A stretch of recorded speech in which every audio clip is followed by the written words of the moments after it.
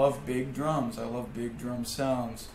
Um, it was only by accident that really um, everything ended up getting compared to this Bonham-esque type thing. It, it wasn't anything that we were going for. It wasn't really anything that I ever studied. It was just more along the lines of what what kind of sounds did we need to project over over these two.